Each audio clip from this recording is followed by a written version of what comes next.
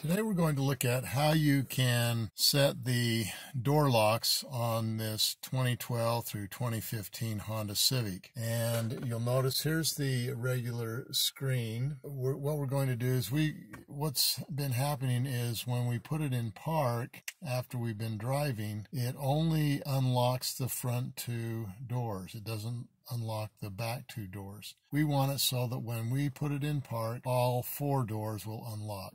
To do that, you're going to press the menu button. Uh, this will put the screen on the vehicle menu. You'll notice that uh, there is what is called the custom customized settings. And to get to that, you're going to just scroll down using this minus button.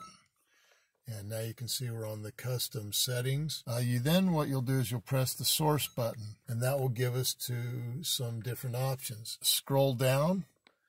Uh, there will be what is called the door setup. We're going to go to that. Uh, once you press the, again, press the source button, and that will put it to the door setup. You've got auto door lock, door lock mode, and auto door unlock. And that's the one we want because our all four doors are not unlocking when we put it in park. Scroll down to the auto door unlock and it gives you some options. It'll unlock for the driver door and that's the one that will unlock.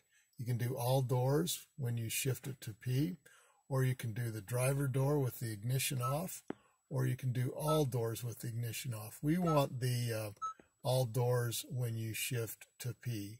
So then you just go ahead and push the source and then it will change that so that all doors will unlock when you put it in P. And then you just go ahead to get out of that. You just press the menu button again. Now you're back to your regular screen and you're good to go. So whenever we put it in park, all four doors will unlock. Thanks for watching Big Al Repairs and hopefully you subscribe.